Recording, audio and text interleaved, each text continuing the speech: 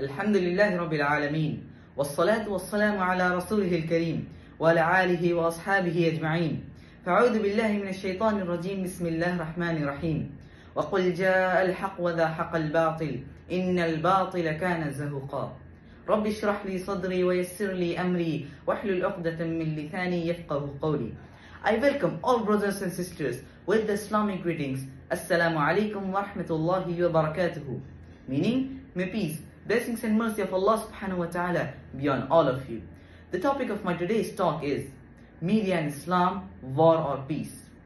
So let's analyze today the various strategies used by the media to malign Islam. Number one strategy used by the media to malign Islam is that they pick up black sheep amongst the Muslim community and they portray as though they are exemplary Muslims. We know that there are black sheep in every community, whether it be the Muslim community, whether it be the Jew community, whether it be the Christian community, whether it be the Hindu community. There are black sheep in every community. What does the media do? The media picks up the black sheep amongst the Muslim community and they portray as though they are exemplary Muslims. And these black sheep amongst the Muslim community who are not following the Quran, who are not following the Sahih Hadith, who are not following the authentic and correct teachings of our beloved Prophet Muhammad sallallahu alaihi wasallam, just a small percentage, and this small percentage, the media picks them up and they portray as though they are exemplary Muslims. All Muslims are like that. Until and unless we Muslims do not clarify these misconceptions, we will be not doing our job. The second strategy used by the media to malign Islam is that they pick up verses from the Quran and they quote out of context and they tell the world that this Quran is teaching violence. What does the media do? The media picks up the verses from the Quran and they quote out of context to destroy the image of Islam. And one such very popular verse, usually quoted by the critics and by the media, is that wherever you find the kafir, you kill him. And if you open the Quran in Surah Tawbah, chapter number 9, verse number 5, there is such a verse which says that wherever you find the kafir, you kill him.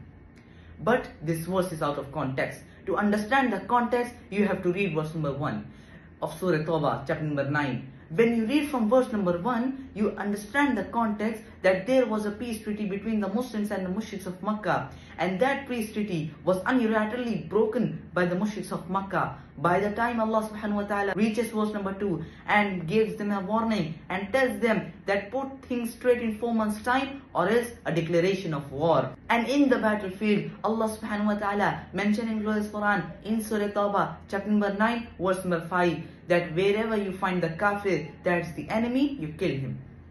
So this verse of the Quran is revealed in the battlefield.